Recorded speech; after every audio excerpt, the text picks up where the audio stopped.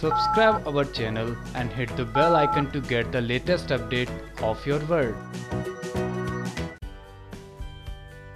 Zee TV के popular show यानी कि कुमकुम भाग्य से जुड़ी लेटेस्ट अपडेट के साथ एक बार फिर से हाजिर है हम आपके पास, लेकिन उससे पहले बताएँ आपको कि क्या कुछ हुआ बीते हुए एपिसोड में, जहाँ पर देखने को मिला कि किस तरह से प्रज्ञा की गोद भराई की रस्म चल रही होती है कि उसी दौरान एक बहुत ही बड़ी ट्रेजेडी होती है, और ये ट्रेजेडी होती है कियारा के साथ, जिसे निखिल अपने साथ ले जाता है जी हाँ निखिल को पता चल गया है कि कियारा ने उसकी बातें सुन ली है, जिसके बाद निखिल कियारा को बेहोश करके उसको अपने साथ ले जाता है, उसे किडनैप कर लेता है। आने वाले एपिसोड में आप देखेंगे कि अभी और प्रज्ञा को ये बात पता चल जाएगी कि निखिल ने कियारा को किडनैप कर लिया है और उसे बचाने के लिए अब अभी जाने वाला है। अभी के ऊपर बहुत ही बड़ी रिस्पॉन्सिबिलिटी आने वाली है कि वो अपनी बेटी को कैसे बचाएगा। कल कहानी में ट्विस्ट तो तब आएगा जब इस मामले में किंग भी सामने आने वाला है। किंग भी बचाने के लिए जाने वाला है कियारा को, लेकिन हम आपको बताएँ कि इसमें बहुत ही बड़ा ट्विस्ट आएगा, जहाँ पर कियारा की मौत होने वाली है और सारा का सारा इल्ज़ाम लग जाएगा अभी के सर पर। लेकिन इसके साथ ही साथ आप देखेंगे एक और नया ट्विस्ट आएगा, जहाँ पर आप ये भी देखने वाले हैं कि किंग को पता चलने वाला है कि कियारा की मौत के पीछे और कोई नहीं, बल्कि निखिल है।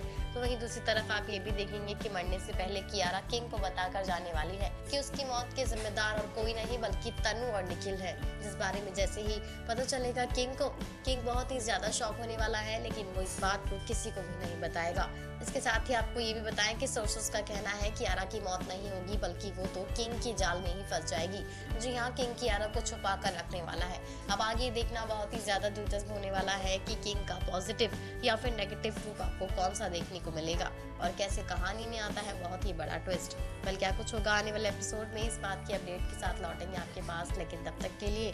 बनी रहिए हमारे साथ और साथ ही सब्सक्राइब कीजिए हमारा channel twenty four online news की report